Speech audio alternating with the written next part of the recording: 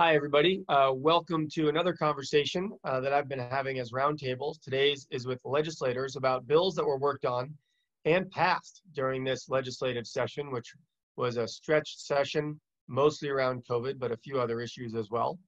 There was a huge amount of work done by legislators to figure out what the best allocations for the limited coronavirus aid, relief, and economic security funds uh, could be used for, also known as the CARES Act funds. Uh, this federal money was received, uh, thankfully, and it was directed to be used by the end of the calendar year, by the end of December, uh, and to be used as a response for the state to help with the economic fallout, as well as the results of the COVID-19 pandemic, uh, to be used for economic recovery, healthcare recovery, and other impacts of the uh, COVID-19 pandemic. Joining me today to talk about how the funding was allocated and who it's directed towards so that folks can help understand if they're eligible or not and, and where the money has been prioritized to are Senator Jane Kitchel, who is the chair of the Senate Committee on Appropriations, Senator Michael Sirotkin, he's the chair of the Senate Committee on Economic Development, Housing, and General and Military Affairs, and Representative Robin Chesnut Tangerman, he's the ranking member of the House Committee on Energy and Technology. And I want to thank you all for joining me. I really appreciate it. It's a pleasure to be here, David. Thank you. So uh, I also want to make sure folks know that uh, participation in this town hall does not necessarily represent a endorsement, uh, but we have tried to have a lot of folks on who have experience in what's happening around the state so that we can help share that with you. I'd like to remind those watching that if you have any questions or thoughts, you can post them in the comment section and we will try to bring them into the discussion uh, as we roll here. We're going to start by discussing, looking at Bill H966. This bill had over $213 million of allocations to support Vermonters, local businesses, and communities to help adapt to and overcome the challenges that we're all facing as a result of COVID-19.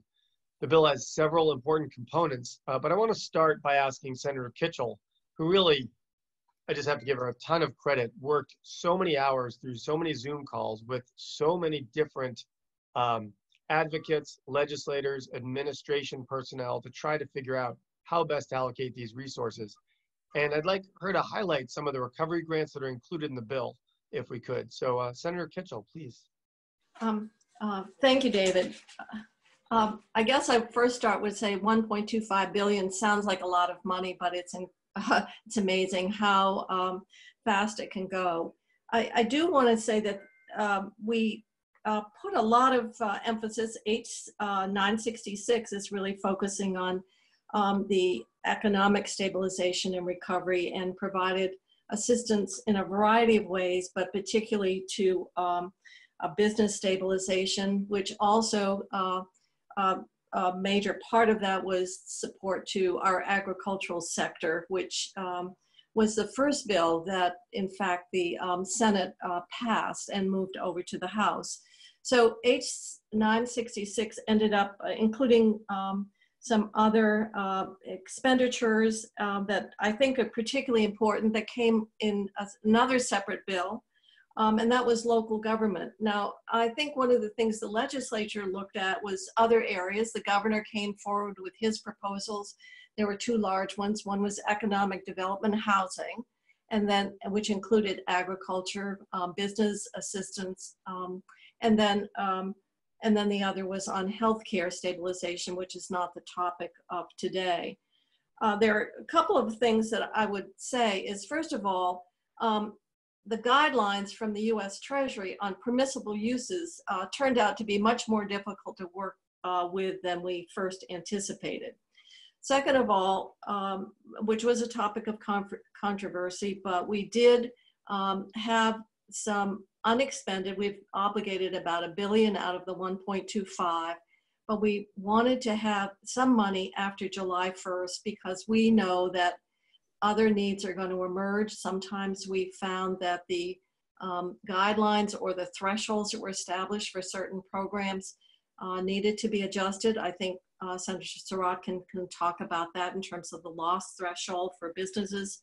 And this gives us some financial capacity to address the unknowns after July 1st. So I know there was a great deal of pressure and sometimes criticism of the legislature about moving the money out, but a couple of areas that uh, we and values that we wanted to talk about, and that is that there be equity, that there be geographic equity, um, equity across sectors, um, and also um, how we address um, needs that did not necessarily get articulated by the administration, but we felt were important. One was assisting local government. Um, our, our local towns have, um, uh, uh, for example, uh, police departments, law enforcement, EMS staff, um, maybe modifications. Just my little town of Danville, believe it or not, um, the extra cost of providing uh, portable toilets at our public beach. So there was no, uh, that was a separate bill that the Senate put forward. In, in the end, it got incorporated.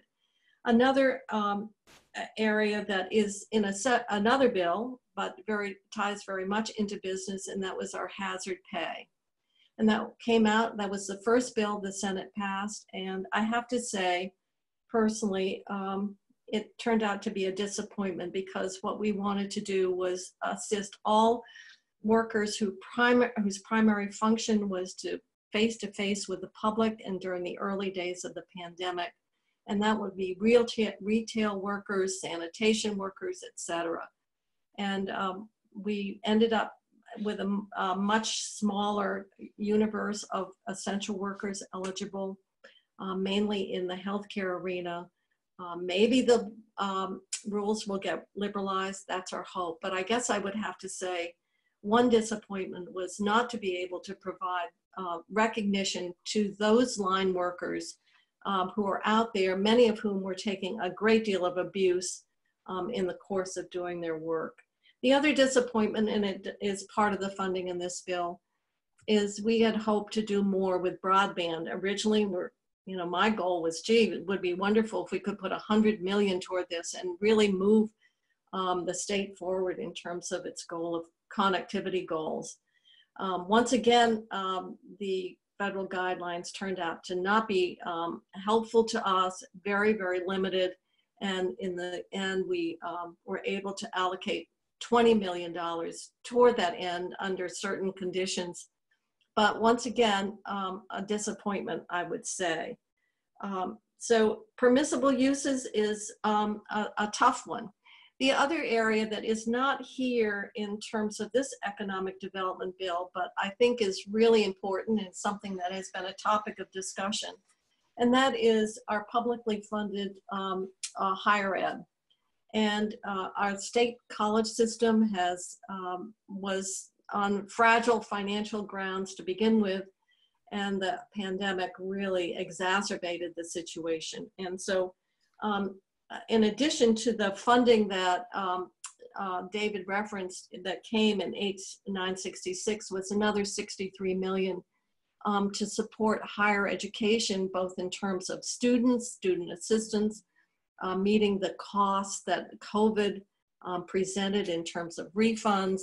Um, so uh, I think sometimes we tend to not include higher education in terms of our economy, but our state economist talks about really the value, the uh, return on investment, the youth coming into Vermont, the money they bring, and it really is an important part of our economy. So the highlights, I would say, um, in 966 uh, would include, for example, the recovery grants uh, to businesses. That was $82 million. Um, there was, it's turned out to be um, a topic of conversation, and that was community uh, grants, community loan fund grants, and that was to uh, female-owned businesses and minority-owned businesses. Um, and maybe uh, that came from the House, so maybe Robin can speak more to that. Um, uh, Arts Council, local government was 15 million, but in total, uh, we also put in uh, other kinds of assistance to businesses such as marketing support, technical assistance, um, and the list goes on. But housing certainly um, was in the end, it gave us a great opportunity to really begin to make progress on developing capacity uh, for people in need of temporary housing and not rely on uh, motels, which has been a very controversial and not right. um, the preferred method. So um, some of what we tried to do was how we can use the money for the long-term benefit of the state, and that was also an important value. Um, so I guess I would say ag, um, 35 million, um, business stabilization, um, and Michael can talk to this, uh, was the 82 plus we had done uh, an additional 70 million in an earlier bill.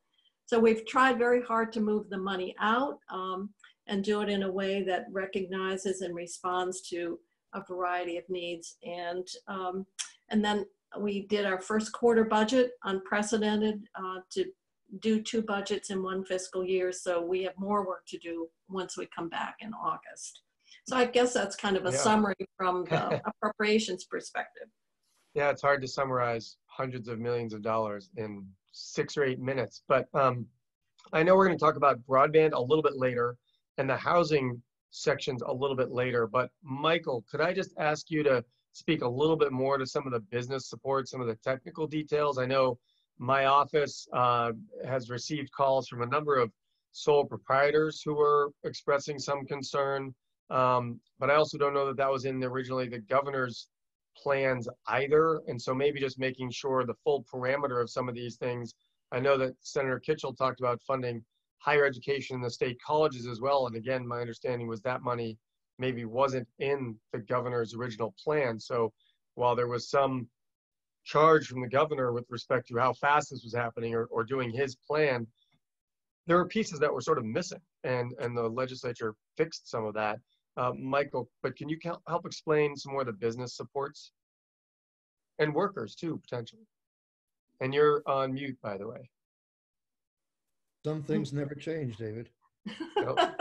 But we got you back now. Good job. Um, yeah, I would say one of the overarching process um, uh, situations that took place in the legislature is uh, when this CARES money was put on the table or received by the state of Vermont, in terms of economic recovery, the governor established several working groups to come up with a plan for the legislature to consider. I tried to inject myself into that process, and uh, the governor's people basically said, "No, wait, we'll get you something." Well, we waited for about seven weeks before they got something to us, and then they were suggesting that we turn that around, mark it up, accept it, amend it within a week's time, which is unheard of in the legislature for a program of this size, which we've never really faced in the past. We did our best to uh, get the money out the door as quickly as we could. And I think my committee had probably 10 days in which to work on it. And that's not even 10 working days. And we basically gave a lot of discretion to the administration to uh, implement a program with these funds. We did put some guidelines around the funds, but we worked as fast as we could to get something out the door. Uh, one of the cr- uh, criticisms that you mentioned, David, was that sole proprietors who had no employees were not eligible to establish to apply for one of these recovery grants, which, uh, as is mentioned, uh, totaled about 150 million dollars in grants. What we know from the administration at this point is they put a limitation on the grants of $50,000. To qualify, you have to show that between uh, March and uh, I think it's July of 2020, uh, you have experienced either a 50% or 75% reduction to a comparable month in 2019. But we asked the same question that you're asking of the administration why did you leave out sole proprietors? And their answer, which we accepted for better or worse, was that there were probably about 30,000 businesses in that category that would have um, diluted the amount of money significantly that would be available for the rest of the businesses. Um, so they chose to leave those folks out with the understanding that those sole proprietors could qualify for two programs that actually are much more generous than what we had to offer here.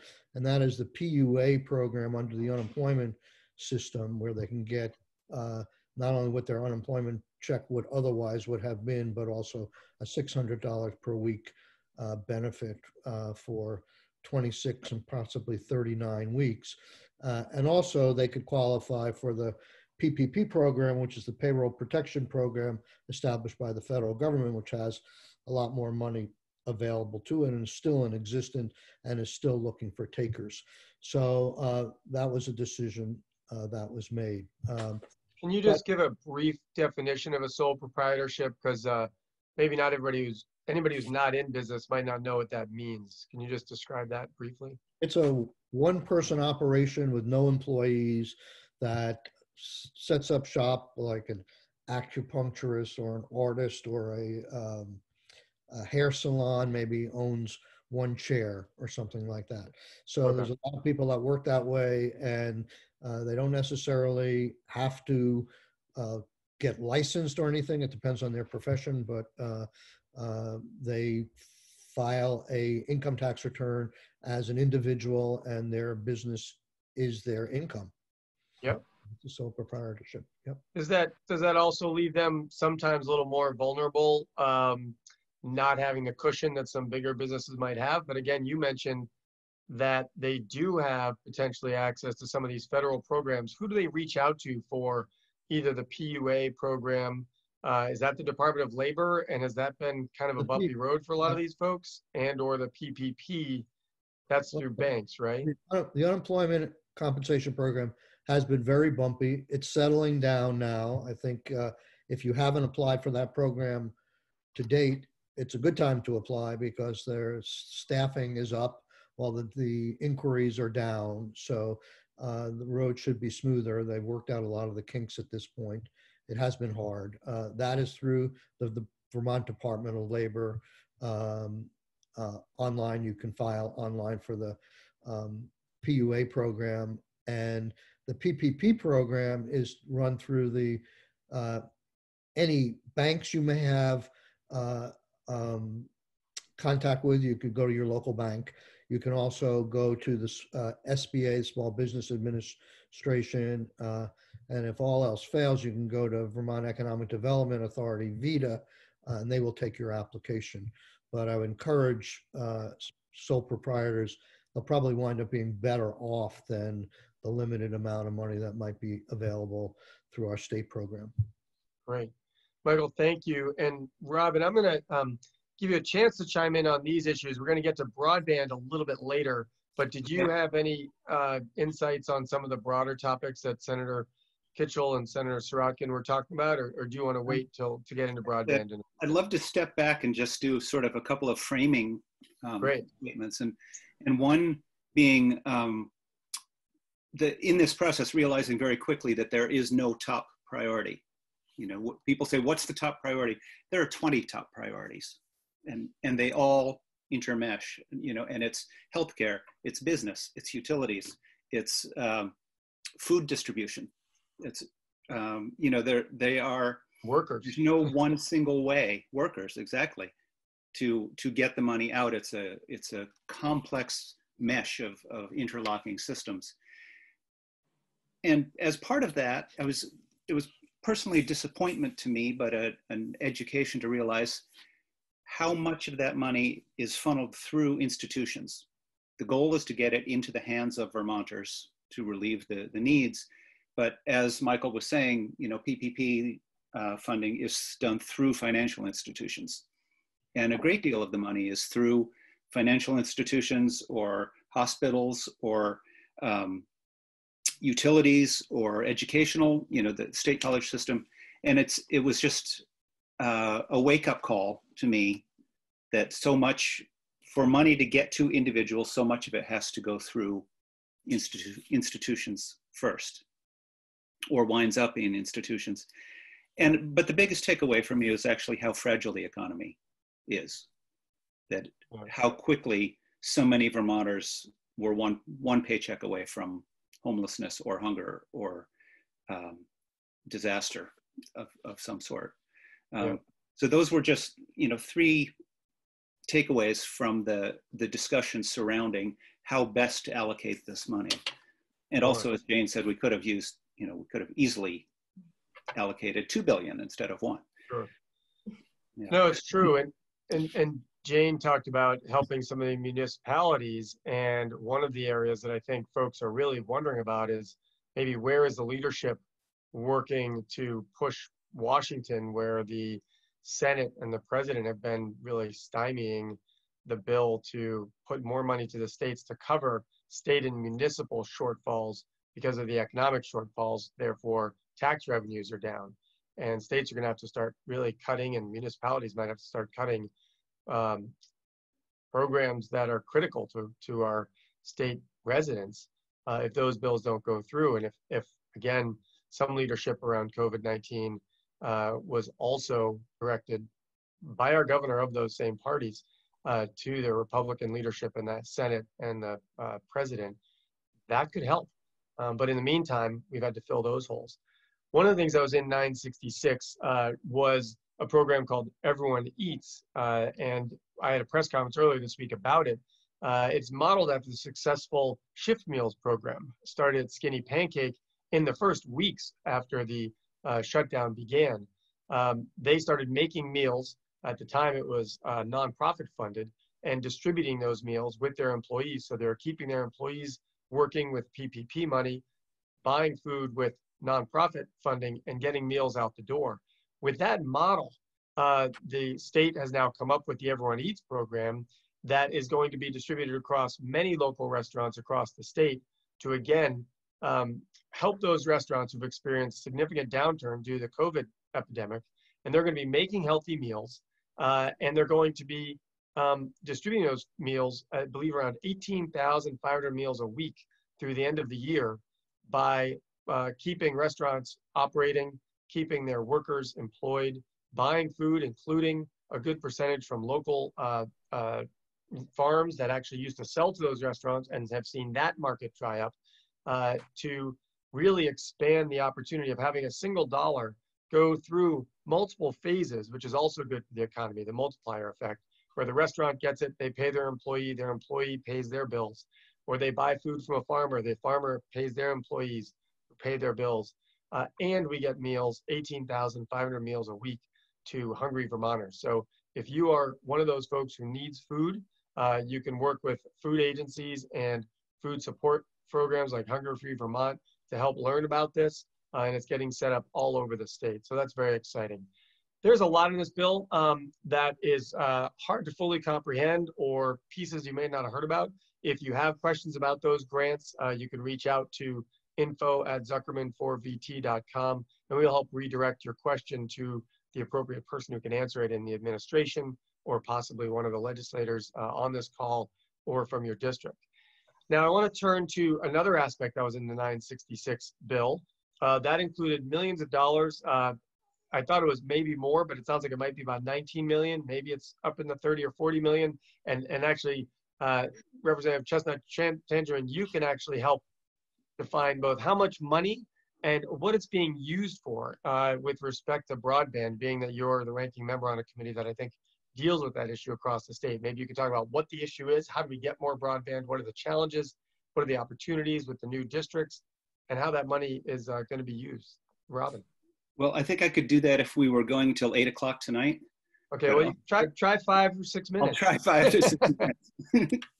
um, so the first off, you know, this uh, COVID-19 crisis has really taken what has been a, a slow-moving crisis of, of connectivity, the, the digital divide, divide between those who have high-speed broadband, those who don't, and changed it into an immediate crisis. Because as everything moved online, those who no longer had access to that um, no longer had opportunity to participate in uh, the economy, education, the democracy, healthcare, any number of things. And so it really became the digital divide was the, the, the wall of opportunity between the haves and have nots. And part of the challenge of addressing this issue is that uh, by federal law, broadband is federally regulated. So what the state can and can't do, or can and can't require, um, is, is very limited um, because of FCC regulations. Mm-hmm. Um, the other thing is that it's even in the best of times, it's a slow process. You know, there are applications, there are reviews, there are um, studies for, for installation of broadband towers or, or uh, stringing lines on poles. Um, and the COVID money needs to be spent by December 31st. So we're trying to act very quickly, um, yet responsibly, and, uh, and as broadly as possible across a range of technologies and across the entire state. Uh, so that said, the bill uh, has a lot of different parts to it, or the, the act now. Um, and the first of, the, of these is about $18.5 million in various programs that is funneled through the uh, Department of Public Service. But the goal is to increase connectivity. And it does it a, a number of ways. And one is by helping to subsidize those people who have high speed broadband going by the house, but can't afford the connection. Maybe they live a quarter mile off the road and it would require some poles, or uh, there's an underground connection required and it's, it's cost prohibitive. So this helps uh, share those expenses to enable new connections um, of, of high-speed broadband. Uh, another large chunk of it is um, for new connections, expansion of service. And this is written to be uh, technology neutral. Um, we overall we have a goal of the the the speeds that fiber optic cable provides but in this immediate crisis, we are open to any solution, whether it be uh, fixed wireless, mobile wireless, uh, fiber optic cable, um, regular cable, or, or even um, uh, DSL, paired DSL in some cases. Uh, so anything we can do to get to form these new connections, and especially with a focus on connecting students who don't have access connecting people in need of health care who can then access telehealth, um, and people working from home who otherwise uh, can't, um, are unemployed. So th those are the goals, the, the direct COVID-19 connections. Um, and, uh, and there are a lot of players in this. And, and it's the Department of uh, Public Service that is coordinating it. And some of the players in these are the um, the communications union districts that were created last year by uh, Act 79. And these are um, essentially co-ops to provide fiber build out in underserved areas. Um, but again, the, these are community organized, community led, and generally volunteer led. So um, one of the things this bill does is to provide a little bit of money to help them with grant writing, with organizing, with getting off the ground to be able to respond to um, respond to and access and utilize some of this federal money to make these connections. Uh, another big piece of the bill is $8 million.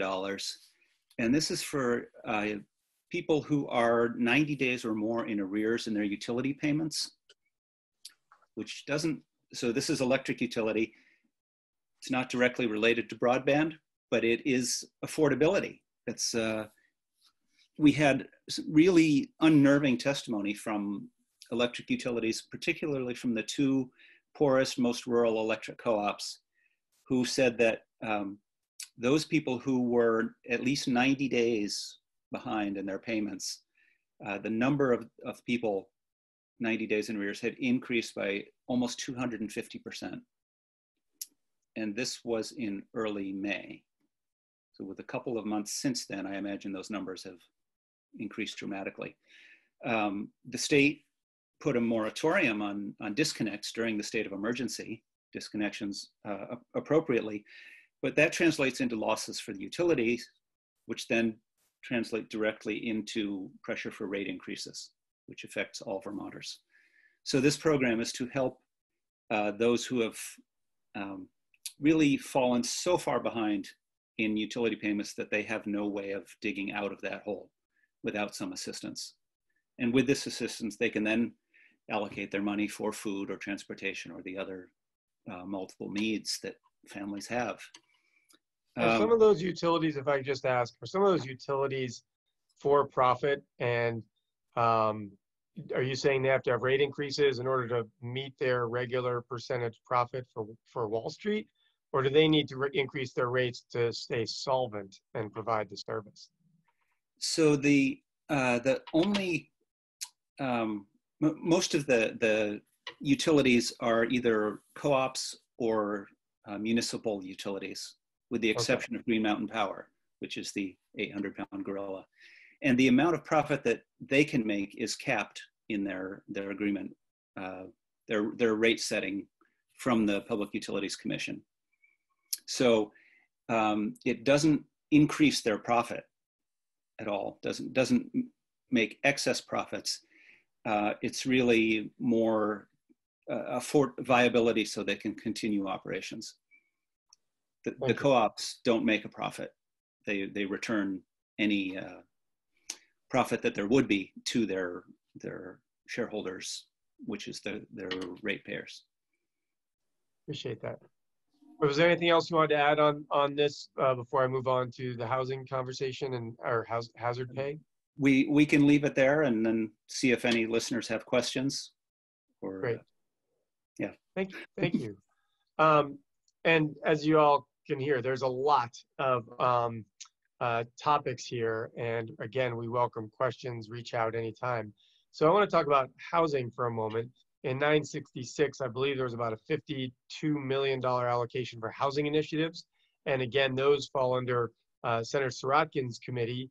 And I'm wondering if you could talk about how some of these funds will be put to work to help Vermonters pay their bills and or uh, how the multiplier, again, their ability to pay their bills helps others pay. Um, is there help for renters?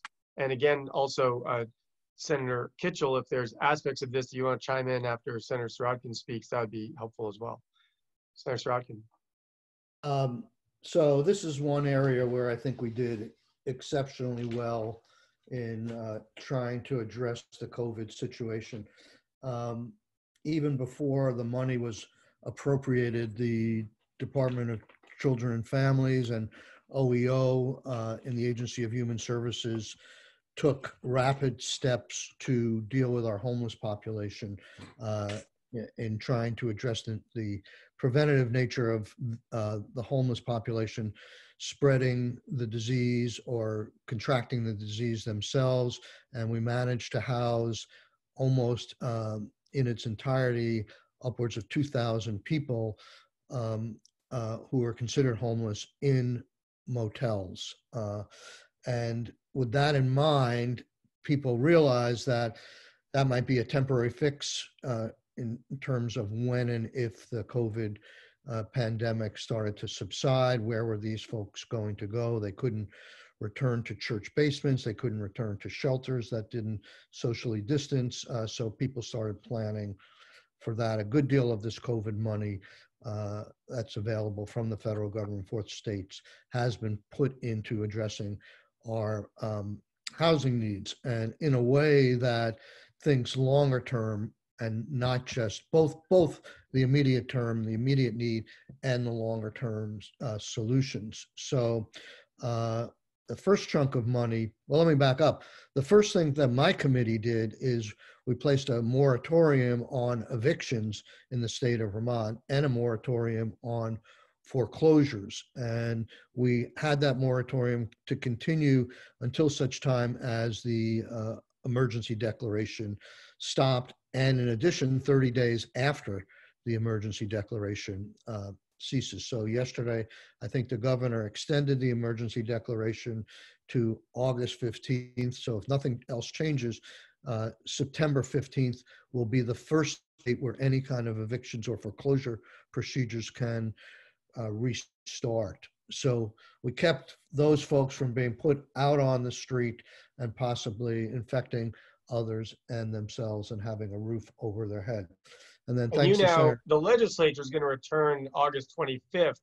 So potentially, if this is continues to be a major challenge, the legislature may be able to act on that further, even if the extension is not made beyond that. Absolutely. Um, so I was about, and I was about to say, the next big step that took place in the housing arena, uh, Senator Kitchel deserves a large degree of the credit here is we appropriated $23 million quickly to the Vermont Housing and Conservation uh, uh, Board to look at what we saw in, in this process. There were a lot of old, aging motels and other housing units that uh, needed to be potentially bought that could be easily refurbished to put in uh, small kitchens and stuff to provide units for some of our homeless population. So we understand that uh, that money got out the door sooner than the rest of the money, and already in terms of a, a solicitation from VHCB uh, asking folks that want to sell or maybe develop these uh, uh aging uh, motels that the, the outpouring has been tremendous in terms of the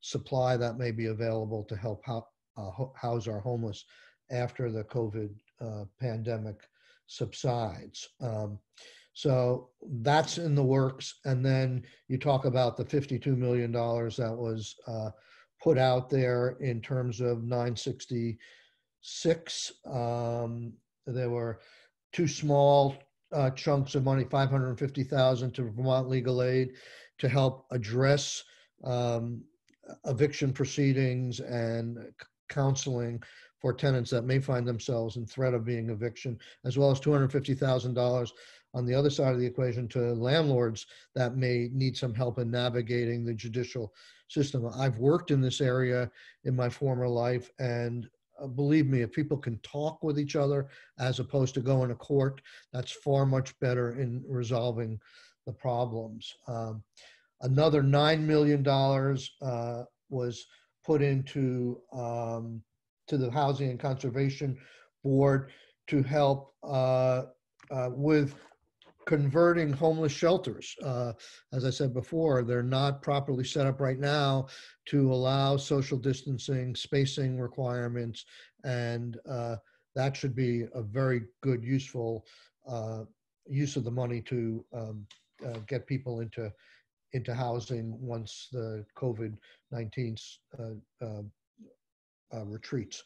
Um, there's $5 million to help people who are uh, uh, facing foreclosures. Uh, once that moratorium is listed, we know that there are a large number of people who are back uh, behind in their monthly uh, rents, and that's a need-based program. It, um, I think the income level is something in the neighborhood of $150,000 per year. Uh, um, uh, for someone to qualify, for a family to qualify for, for assistance. The biggest chunk of the money goes for $25 million goes to prevent evictions for people who are behind in their rents. Uh, even in the moratorium on evictions, there was a, a, a, definitive statement that that does not relieve people of paying their rent, and hopefully people were able to pay their rent uh, during the period we're presently in, during the moratorium period, but I'm sure there are people who have been unable to pay their rent, and this uh, $25 million will be available to uh, people to pay back rent. It's not an unlimited amount of money. The amount of monthly rent is capped. It's being administered by the Vermont State Housing Authority, and they have maximum amount of rents that they pay out to their low-income people, and that will serve as a default as to what the maximum monthly rental amount will be. Uh, in addition, what is not in this, uh, there's also, excuse me, there's also $6.2 million for what is was called the VHIP program. And um, my committee had gone around the state in the fall dealing with the housing crisis. And one of the things that we were very struck by, especially in the Rutland area, there were a lot of old houses that uh, that had for, fallen into disrepair that housed large families at one point that could easily, with a little tender loving care, could be turned into quadplexes uh, and be brought up to code. And this is a, a public private partnership of $6.2 million that will require a 10% match from a private uh, homeowner uh, to do the conversion and they would have a responsibility to keep the house affordable and keep rents affordable uh, for um, five years at least after the renovation. Uh, I would also note that in the, I just go back to the 23, 20, 25 million dollars for rental uh, housing assistance that landlords have to agree not to raise rents for a period of time uh, if they get some back rent, back rent help uh, from that program, and um, uh, they also have to agree not to evict anybody for a certain number of months if they're going to take this money, unless, of course, the person falls behind in their rent again. Uh, so the last big piece here, David, is that uh, the Department of Children and Family, uh, Jane can correct me, I think it's $15 million of CARES money. It's not in this bill, but it's in a different bill. Uh, will provide the third leg of a homelessness prevention stool, which is services, um, and that's critical. So I think we have protected our homeless population, and hopefully we're going to produce enough permanent housing for the homeless population, of which I understand like 500 people are, are in family situations with children. Um, that once they once this uh, virus is over, we will make a significant dent in our homelessness population in the state of Vermont, which I'm very proud of. And I thank uh, Jane and the Appropriations Committee for being great partners in this. Well, thank you. And and one last arena that I really want to touch on, and it's been a topic that uh, I know you both and everybody worked on a lot, was the uh, essential workers. And as businesses and employees, uh, we've and, and, as customers, we've learned how much we rely on some of these folks, store clerks and others, as well as the health um, healthcare essential workers and others. And really, they're exposed to more people every day, whether you're in the health system, whether you're in the clerk in the store, whether you're a, a shelf stocker um, to resupply the shelves for all of us to buy our goods. Uh, and they're exposed potentially every single day. And so there's some hazard risk. And um, I know that there was initially a, a, real goal to get money out the door to everybody who were in those conditions. And I know, Jane, you talked earlier about some of the constraints of the federal law. Um, can you maybe start us off a little bit on what happened with hazard pay and who's now eligible in the end and maybe mm-hmm. why? And then Senator Sirotkin or, or Representative uh, Chesnut Tangerman, if either of you want to add a little bit as well, um, if, if Jane doesn't quite get it all. But I know Jane is really aware and worked really hard on this. So Jane, could you help us with that? Um, sure. Um, I'll set my disappointment aside. The um, bill that came out of the Senate uh, would have covered about over 33,000 Vermont employees. These are individuals who um, were frontline workers in essential businesses and during the first part of the pandemic, it was before the masks, it was before the plexiglass, it was before all the preventive uh, measures were put in place, and they showed up at work. And there was concern also that they were working in jobs where maybe they were financially not at, um, um, as well off as individuals collecting unemployment with that $600 a week federal add-on, which was a 50 amounted to $15 an hour. So we're hearing from employers around sort of the um, the importance of the work that um, these employees were doing, and sometimes um, not where they were fiscally advantaged in any um, in any form. So um, in the end, we wanted to do everything from I mentioned from uh, the grocery clerks to the uh, clerks in the pharmacies to uh, sanitation and so forth. And we were really tying it into um, uh, the uh, list of uh, essential employers. So uh, as we moved on and the bill went over to the House, as it was passed by the Senate, it would, it would have covered over 33,000 of these employees. And the price tag was um, to provide a benefit. And let me tell you, this benefit was very much targeted to get back to a point Robin made, these are benefits that would go directly to Vermont workers working under $25 an hour. So it was really going to put money into the pockets of people doing essential jobs and not at the um, at higher wages necessarily. Um, in the end, because of guidance from the U.S. Treasury or lack of guidance or assurances, uh, we ended up um, having to reduce the eligible um, employees um, and pretty much essentially limiting to um, healthcare. Um, the only exceptions are crematorium and funeral workers, so which are not a huge number.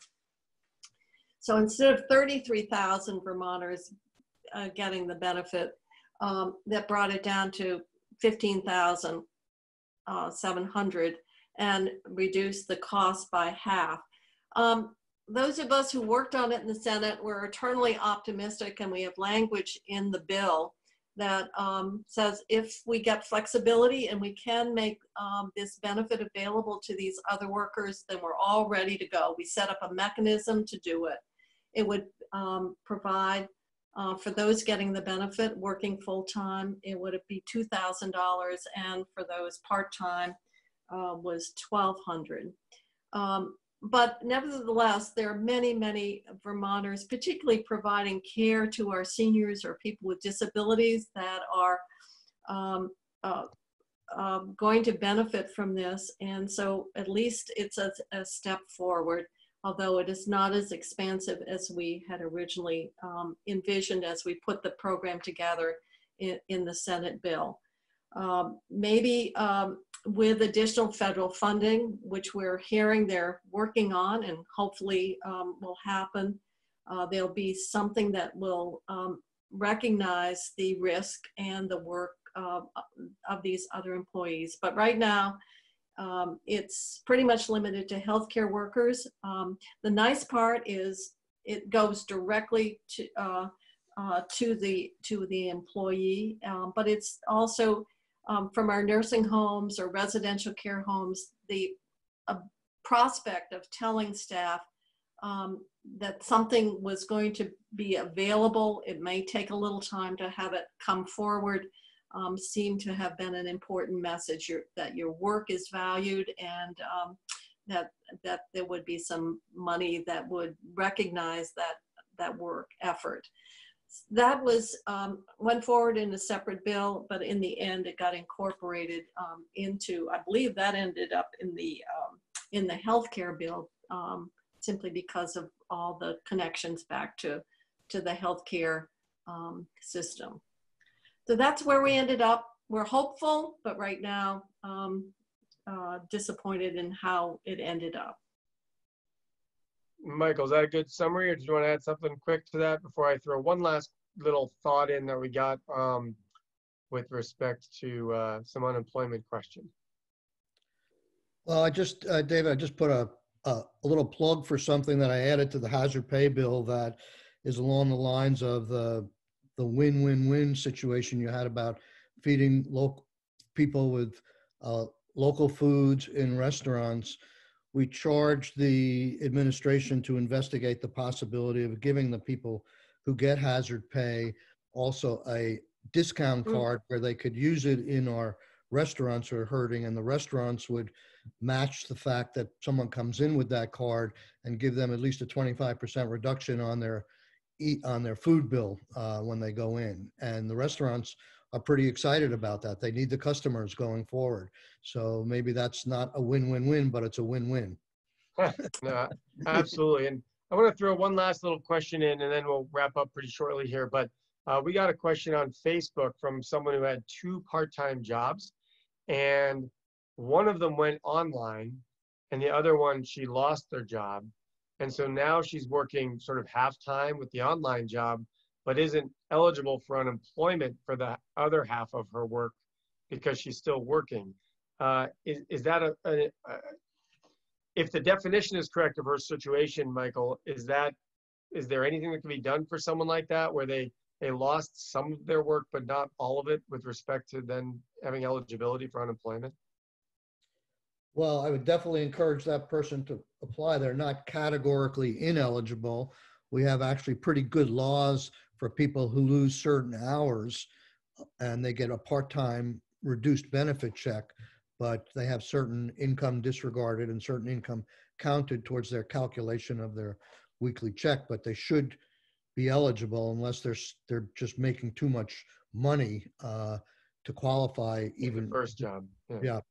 Yeah. Okay, I'll, I'll make sure we follow up with her uh, on the conversation um, that happened on Facebook. So thank you. I just want to give everyone uh, a moment um, as we near the end of the program. Uh, we obviously can't cover everything. Uh, it's um, just so many topics to discuss and and and um, figure out. Uh, so I want to thank you all and offer if there's just a one minute closing piece of something that you really want to uh, offer, um, and uh, and then we'll we'll uh, and then I'll wrap it up. So uh, Jane, you want to go first? Is anything that you didn't get a chance to say or didn't hear that you really think folks should learn about? Well, I guess um, the only thing I would reiterate is that we did not um, spend the full grant, so there may be some opportunities to address um, areas that uh, are out there. Um, it's not a topic here, but certainly what is going to happen in our public school systems um, is really of grave concern as it relates to the startup of schools and uh, the impact that's going to have on higher ed as well. So I guess I would say is these bills are a major step forward. We've released uh, a tremendous amount of money. We've tried to do it in the most um, thoughtful and strategic way possible.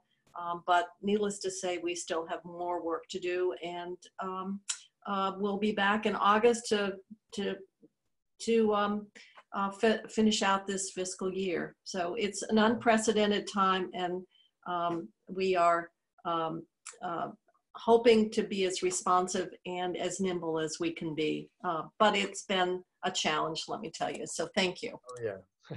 well, thank you, Senator Kitchel. Uh, Senator Sirotkin, any last uh, little Yeah, morsel like of to- one of those bills? Yeah. Yeah, um, not on the bill, but the- similar to what Senator Kitchel said, I'm glad we're going back on August 25th. It gives us an opportunity to not only potentially spend the money that's been held back, but also to tweak the actions we've done. Uh, we've, we, there are some uh, uh, flexibility in the bills where money can be moved and eligibility can be changed. So uh, we'll have the benefit of two months of operation of seeing how these programs work.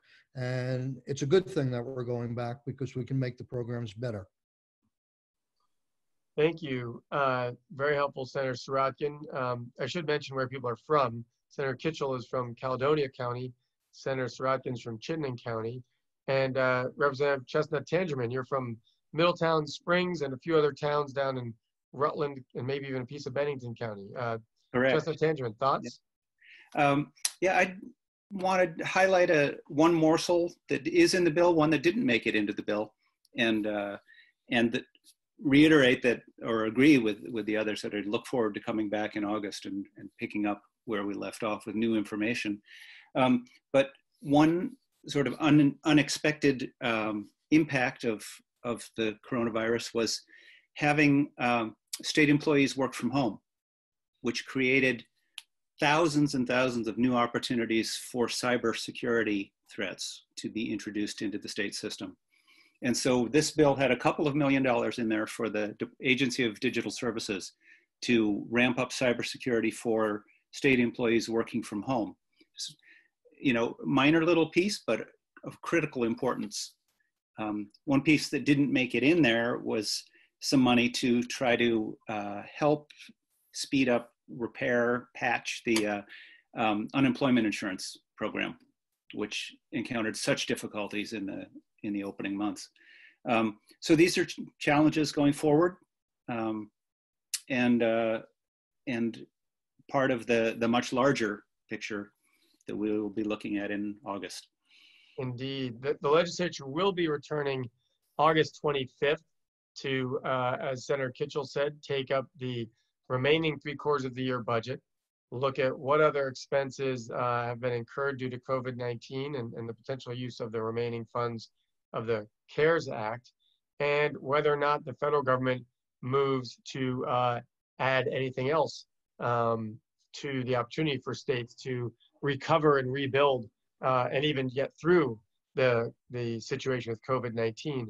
I also want to mention uh, schools were brought up a bit earlier, and uh, my team is working on putting together a panel uh, in the coming weeks around the reopening of schools and whether schools should be open and what some of the parameters and expenses are going to be, but also what some of the need is, both for uh, making sure our kids don't suffer for lack of education opportunities, uh, but also uh, some of the parents who are trying to work and the juggle of that, but balancing that with public safety. And is it safe yet to have kids back in schools as we're seeing outbreaks right now down in Manchester and uh, down maybe in Londonderry and some of the other pockets around the state, as well as the, the ones around the country that are just um, unfortunately exploding with COVID-19. So this is an ongoing conversation. Uh, next week, we're going to have a conversation, um, I believe, around healthcare. Uh, and so we look forward to folks joining us for that. I want to thank all of you for joining me uh, on this conversation, both the viewers, but also Senators Kitchel and Sirotkin and Representative Robin Chesnut Tangerman. If folks have questions, you can send them to info at zuckermanforvt.com. Uh, and again, thank you to my guests and thank you for watching.